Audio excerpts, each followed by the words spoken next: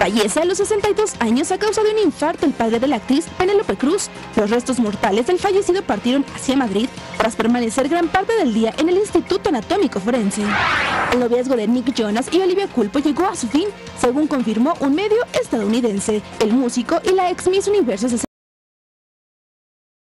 contra el cáncer durante cinco meses. Perdió la vida a causa de una neumonía causada por el tratamiento que recibió en Brasil, país de donde es también este nuevo muñeco viviente. El cantante Neil Young ha declarado que Donald Trump no estaba autorizado para usar su música en su campaña para la candidatura por la presidencia de Estados Unidos, además de que apoyará a un candidato del partido contrario.